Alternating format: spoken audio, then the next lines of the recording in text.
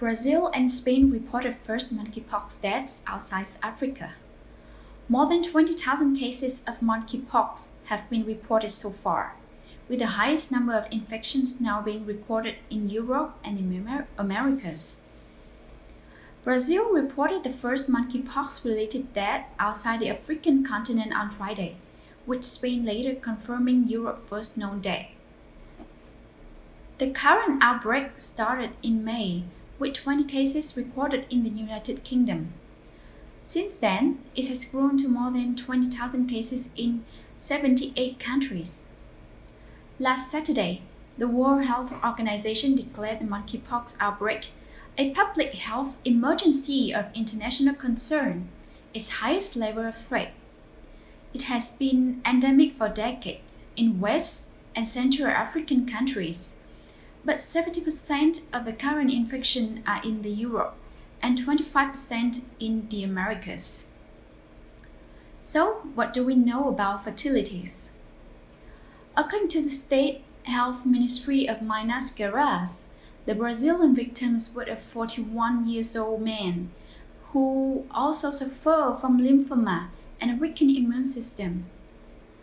The comorbidities aggravated his condition, the ministry said. He died from septic shock after being taken to the intensive care unit. Spain's first death was recorded Friday in the Valencia region. The second reported Saturday in the southern province of Andalusia. Both victims had been hospitalized with infection that attacked their brains in the days before their deaths. It is possible the deaths are linked to pre-existing conditions. Spain is one of the world's worst hit countries, and 4,298 people have been infected with the virus, according to the Spain Health Ministry's Emergency and Alert Coordination Center. Of 3,700 monkeypox patients with available information, 120 cases were hospitalized, 3.2%, and one case has died, the center said. The World Health Organization said around 8% of monkeypox cases in Europe have required hospitalization. The global health body have so far reported five confirmed mon- monkeypox deaths in countries in Africa. So, uh, the World Health Organization has uh, some new advice for us.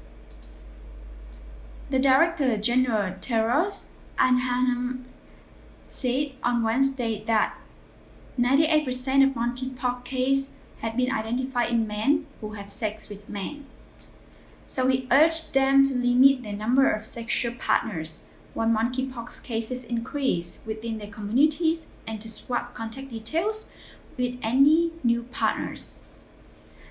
This is an outbreak that can be stopped. The best way to do that is to reduce the risk of exposure, Tedros told a new conference from Geneva. That means making safe choices for yourselves and others.